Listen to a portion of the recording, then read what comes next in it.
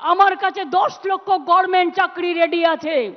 একটা কাজ করতে যাচ্ছি, তো কোর্টে গিয়ে পিল খাচ্ছে। আর পিল খেয়ে বন্ধ করে দিচ্ছে।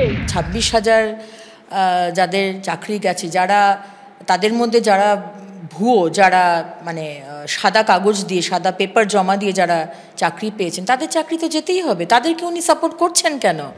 নিয়োগ দুর্নীতিতে আদালতে সুতোয় ঝুলছে রাজ্যের হাজার হাজার যোগ্য চাকরি প্রাপকের ভবিষ্যৎ। অন্যদিকে রাস্তায় আন্দোলন চালিয়ে যাচ্ছেন হাজার হাজার চাকরি প্রার্থী। বিরোধী থেকে আন্দোলনকারী সবার নিশানায় তৃণমূল। এই পরিস্থিতিতে এবার দায় ঝেড়ে বিরোধীদের ঘাড়ে দায় ঠালার চেষ্টা করলেন মমতা বন্দ্যোপাধ্যায়। বিজেপি আন্দোলনে পারে না।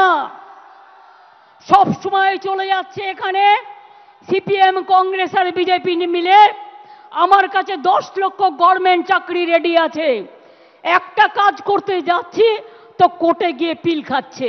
আর পিল খেয়ে বন্ধ করে দিচ্ছে। কখনো বলছে ছাব্বিশ হাজারের চাকরি খাই, কখনো বলছে বিয়াল্লিশ হাজারের চাকরি খাই, কারও চাকরি যাবে না। যারা ভুয়ো, যারা মানে সাদা কাগজ দিয়ে, সাদা পেপার জমা দিয়ে যারা চাকরি পেয়েছেন, তাদের চাকরি তো যেতেই হবে। তাদেরকে উনি সাপোর্ট করছেন কেন? উনি এই কারণেই সাপোর্ট করছেন। কারণ উনি জানেন যে আজকে এই যাদের যেসব তৃণমূল নেতাদের ঘুষ দিয়ে এই ছেলেগুলো, এই অযোগ্য ছেলেগুলো বা মেয়েগুলো যারা চাকরি পেয়েছে, তার আগে তাদের ছাল চামড়া তুলে দেবে। উনি তো নিজের নামটা ছাড়া জীবনে কোনোদিন কোনো সত্যি কথা বলেননি। উনি আইন মেনে কাজ করলে ওর সরকারের বিরুদ্ধে তো কেউ আদালতে যাবে না। বামফ্রন্টের সময় যখন এসএসসি হয়েছিল, এগারোটা এসএসসি হয়েছিল, কাউকে তো আদালতে যেতে হয়নি। এ পরিস্থিতি কোনোদিন ছিল না পশ্চিমবাংলায়, যা উনি করেছেন। আপনারা ভাবছেন চল্লিশ কোটি টাকার মদ কে খাবে।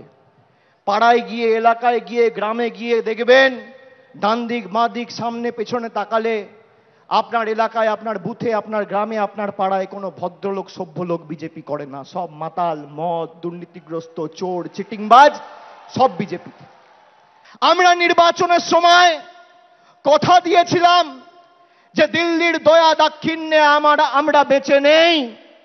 কবে দিল্লি বাড়ির জন্য টাকা দেবে আর বাংলার মানুষ বাড়ির টাকা পাবে, তার জন্য তৃণমূল কংগ্রেস অপেক্ষা করে নেই। আজও একই কথা বলছি।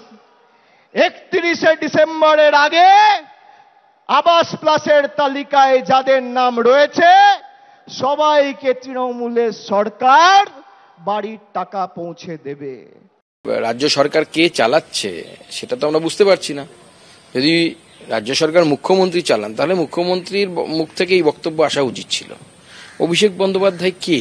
উনি তো রাজ্য সরকারের কেউ নন, একজন সাধারণ এমপি। এমপি হয়ে যদি সরকারের গতিপথ ঠিক করে দেন, তাহলে তো আমার মনে হয় মাননীয় মুখ্যমন্ত্রী এটাকে সাংবিধানিক সিলমোহর দেওয়া উচিত।